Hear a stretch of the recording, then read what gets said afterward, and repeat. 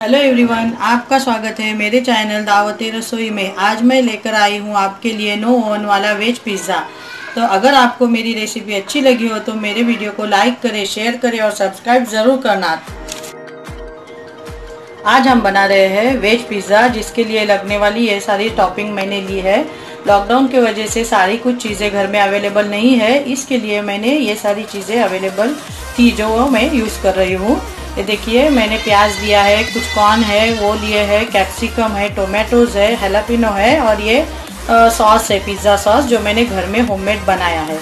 अगर आपके पास, अगर मशरूम घर में अवेलेबल है या फिर आपको पसंद है तो आप मशरूम भी यूज़ कर सकते हैं, या फिर पनीर है तो आप पनीर भी यूज़ कर सकते हैं। जो भी आपको पसंद है आप यूज़ कर सकते हैं, लेकिन अभी लॉकडाउन की वजह से मार्केट में भी कोई अवेलेबल कुछ है ही नहीं, इसके लिए मैंने जो अवेलेबल था वही बना रही हूँ। ये जो सॉस मैंने घर में बनाई है, बहुत टेस्टी बनी है और ये पिज़्ज़ा की जान है। इसमें ये टेस्ट है, वही पिज़्ज़ा को टेस्ट आने वाला है। अगर आप ये आपको अगर ये रेसिपी चाहिए तो मैंने वो लिंक डिस्क्रिप्शन बॉक्स में डाल दी है, आप देख सकते हैं। तो ये बहुत और बहुत टेस्टी और बहुत ही बेहतरीन इसका टेस्ट है। आप यूज़ करके देखना ट्राई मैं गो की पिज़्ज़ा चीज़ यूज़ कर रही हूँ, क्योंकि मेरे पास ये अभी अवेलेबल है। इसके लिए मैं ये यूज़ करने वाली हूँ। अगर आपके पास ये अवेलेबल नहीं है तो आप ब्रिटानिया का पिज़्ज़ा चीज़ यूज़ कर सकते हैं, या फिर अमूल का पिज़्ज़ा चीज़ यूज़ कर सकते हैं। वो भी नहीं है तो आप चेदार और मोजरेला का कॉम्बिनेशन करके वो भी आप यूज़ कर सकते हैं। तो अगर आपको, आपके पास ये है तो ये भी है, इसका भी टेस्ट बहुत अच्छा है, बहुत बेहतरीन है। तो अब हम बेस बनाते हैं, उसके बाद हम ये सारा, ये टॉपिंग यूज़ करेंगे। पिज़्ज़ा बेस के लिए लगने वाला इंग्रेडिएंट्स लिया है मैंने, दो कप मैदा लिया है, ये ये कप से लेवल यही कप से मैंने ये दही लिया है, डेढ़ कप, ये तीन टेबल स्पून ऑयल लिया है, शक्कर लिए ये मैंने वन टीस्पून चीनी वन टीस्पून मैंने बेकिंग सोडा लिया है वन टीस्पून मैंने बेकिंग पाउडर ली है और हाफ़ टी स्पून मैंने नमक लिया है, अपने हिसाब से, आप अपने हिसाब से ले लेना। अब हम इन सबको गूंद लेते हैं। ये देखिए, मैंने परात लिया है, उसमें हम मैदा डालेंगे। और ये बेकिंग सोडा नमक, चीनी, ये सब हम इसमें मिलाएँगे। उसको अच्छे से मिलाएँगे, देखो इस तरह से। इन सबको मिलाना है हमें। उसके बाद हम इसमें दही डालेंगे। ये देखो, दही ऐड करेंगे इसमें। थोड़ा थोड़ा करके हम इसको ऐसे गूंदेंगे दही में। इसको दही के साथ ही गूंदना है, पानी नहीं हमें डालना है इसमें। ये देखिए इस तरह से।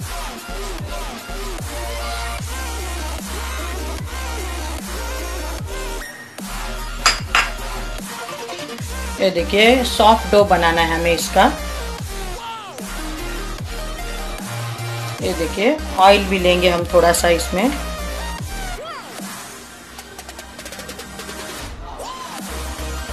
बाकी हम बाद में यूज़ करेंगे। ये देखिए, इसको अच्छे से गून के इसका एक सॉफ्ट डो बनाना है हमें।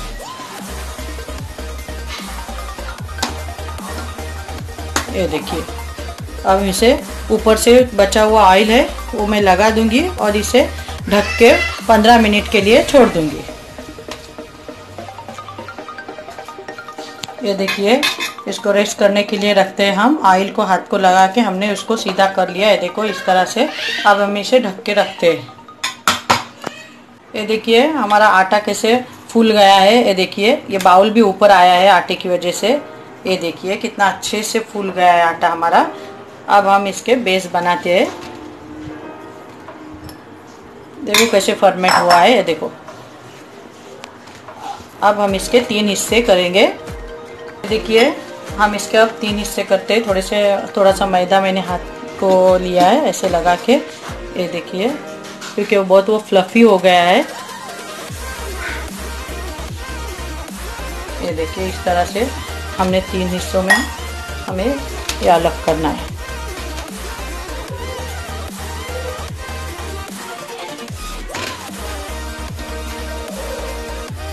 ये देखिए, इस तरह से हमें इसके तीन हिस्से कर लिए हैं। अब हम बेस बनाते हैं। ये देखिए, आटे को मैंने तीन हिस्सों में कर लिया है। अब हम बेस बना लेते हैं, लेकिन उसके पहले मैं आपको एक चीज़ बताना चाहती हूँ, जो मैंने यहाँ पे सेटअप किया है। ये देखिए, एक बर्तन में मैंने नमक डाला है, जो बारीक वाला आता है नमक, वो नमक डाला है इसमें, और स्टैंड रखा है इसमें गैस का जो उसके ऊपर हम प्लेट रखेंगे थाली जैसे कि एल्यूमिनियम की हो, या फिर किसी ओवन का कुछ बर्तन रहता है, उसके नीचे वाला भी बेस रहेगा, फिर भी चल सकता है। तो वो हमने लिया है। तो ये नमक जो लिया है मैंने वो कुछ पौना किलो तक है आधा पौना किलो। वो मैंने पहले भी यूज़ किया था। आप फिर से यूज़ कर सकते हैं।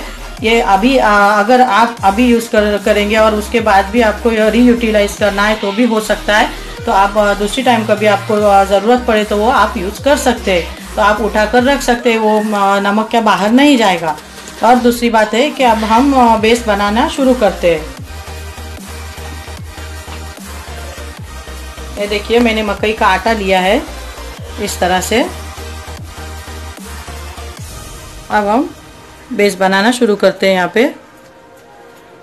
क्रिस्पी होने के लिए मैंने मकई का आटा यूज़ किया है। हमें थोड़ा सा नीचे के पिज़्ज़ा जो है, वो हमें क्रिस्पी चाहिए, इसलिए हम ये यूज़ कर रहे हैं। ये देखिए, अगर आपके पास मकई का आटा नहीं है तो आप मैदा भी यूज़ कर सकते हो। ये देखिए, इस तरह से मैंने बेस को बना लिया है। ये देखिए, मैंने ये थाली ली है। इसके साइज़ का मैंने बेस बनाया है। अब हम ये थाली के ऊपर मक्खन लगाएँगे। ये देखिए, जो मस्का होता है, इस तरह से, क्योंकि हमें इजीली इसको निकालने के लिए दिक्कत नहीं होगी। पिज़्ज़ा को इसके लिए हमें ये लगाना ज़रूरी है। ये देखिए, इस तरह से हमें लगाना है। इसके ऊपर मैं ये बेस रखूँगी। ये देखिए, मैंने थाली पे ट्रांसफ़र कर दिया है बेस को। ये देखिए, अच्छे से बैठ गया है थाली पे।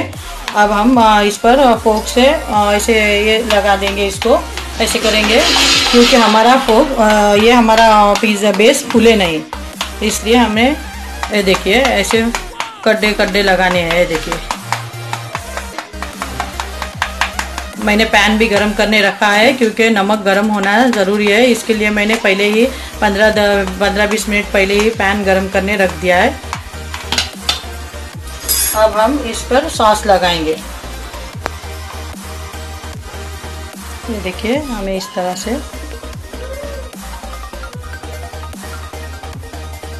ये देखिए, हमें इसे फैलाना है, इसे ऐसे इस तरह से लगाना है। इसका टेस्ट हमारे पिज़्ज़ा में आने वाला है। इसका टेस्ट बहुत बढ़िया है। आप ट्राई करना, आपको ज़रूर पसंद आएगा। आप बाज़ार से खा लाना भूल जाएँगे। ये देखिए, इस तरह से मैं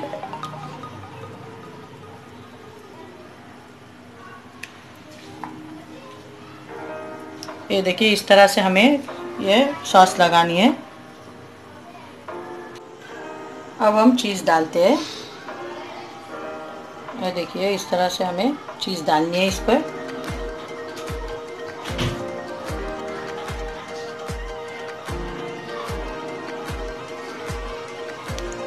ये देखिए, इस तरह से हमने चीज़ डाल दी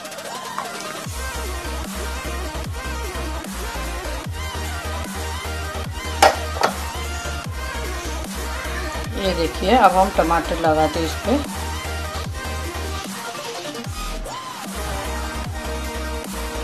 ये देखिए इस तरह से हमें टमाटर लगाने हैं। ये देखिए मैंने क्यूब में काटा है टोमेटो को, क्योंकि मुझे क्यूब में पसंद है। अगर आपको स्लाइस पसंद है तो आप स्लाइस में काटना, जैसे आपकी मर्ज़ी है। मैंने कैप्सिकम भी उसी तरह से काटा है।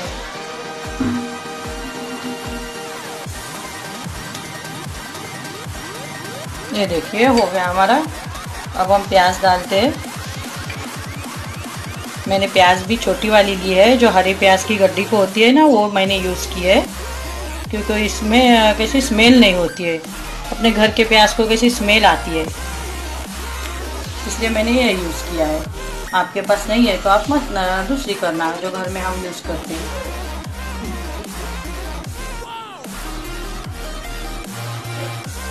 अब येलो पेनो लगा के उसका भी टेस्ट बढ़िया होता है।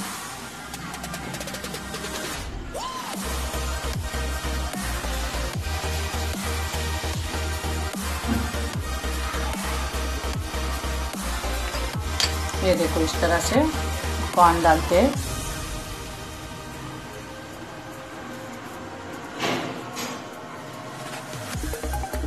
ये देखिए इस तरह से हमने सब लगा दिया है और फिर से हम थोड़ी सी चीज़ डालते हैं। फ्रेश है इसकी वजह से वो। देखो कैसी, ये हो रही है इसकी, जैसी गुटलियाँ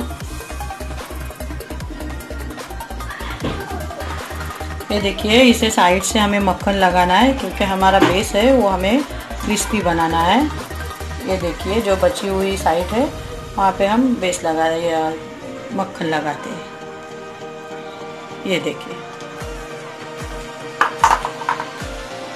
ये देखिए, मेरा बर्तन अच्छे से गर्म हो चुका है। अब हम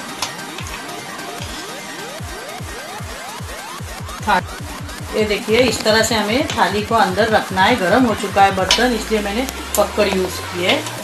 आप भी संभाल के ऐसे ही करना। अब हम इसे ढक देते हैं एक 10-15 मिनट के लिए। ये देखो हमारा कैसे अच्छे से हो रहा है और ये हमने पिज़्ज़ा जो रखा है, वो देखो कैसे चीज़ भी कैसे अच्छे से मेल्ट हो रही है और कैसे अच्छे से फूल रहा है, बाजू से देखो कैसे जो जैसे ओवन में अच्छे से बनता है ना, उसी तरह से हो रहा है और कैसे लाली आ रही है हल्की, जो ओवन में जैसे आती है, उसी तरह से। तो और पैन में अगर आप करेंगे तो उसमें कैसे ऐसे अच्छे से सेकता नहीं है, लाली नहीं आती है, जो साइड से जैसे ओवन में कैसे ब्राउन होता है, उसी तरह, उस तरह से इसमें अच्छे से बनता है, पैन में वैसे अच्छे से नहीं बनता है। इसके लिए मैंने आपके लिए ये ऐसे बना के दिखा रही हूँ, मेरे पास ओवन घर में दो दो है। फिर भी मैं ये ऐसे आपको बना के दिखा रही हूँ। ये देखो, इस तरह से धीमी आँच पे मैंने रखा है और ऐसे इस बर्तन में मैं बना रही हूँ। ये देखिए, मेरे ओवन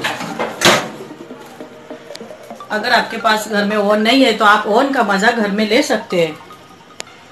ये देखिए, हमारा ये सेक रहा है पिज़्ज़ा, तब तक मैंने दूसरा भी रेडी कर लिया है, ये देखिए, इस तरह से हमने दूसरा भी बना लिया है। ये देखिए, इसको भी मक्खन लगा रही हूँ। उसके बाद हम उसको अंदर ट्रांसफ़र कर देंगे। ये देखिए, हमने इसको बाहर निकाला है और दूसरे को हम लोग अंदर ट्रांसफ़र कर दिया है, देखो। अब हम सर्व कर ले देखिए, हमारा पिज़्ज़ा कैसे रेडी हो गया है। अब हम इसको सर्व कर लेते हैं और दूसरा है देखो, अंदर हमने डाल दिया है। ये देखिए, कितना अच्छे से सेका है। नीचे से कैसे लाल थोड़ा सा ब्राउनिश कलर आया है उसको और क्रिस्पी भी बन गया है। ये देखिए, हमारा दूसरा वाला पिज़्ज़ा बन रहा है। वो भी कितना बेहतरीन बना है। आप ज़रूर ट्राई करना। ये देखिए, ऊपर से भी कितना अच्छा और लजीज दिख रहा है। देखिए, मैंने सर्व कर लिया है। आप भी ऐसे ही ट्राई करना, आपको ज़रूर पसंद आएगा। गारंटेड आपको पसंद आएगा। बहुत ही टेस्टी बना है और ये देखो, कैसे जूसी ये देखो चीज़ी बना है। बहुत प्यारा लग रहा है। वैसे ही खाने को भी उतना ही टेस्टी है। तो चलो, मिलते हैं मेरे अगले वीडियो में एक और मज़ेदार रेसिपी के साथ। तब तक के लिए टेक केयर बाय बाय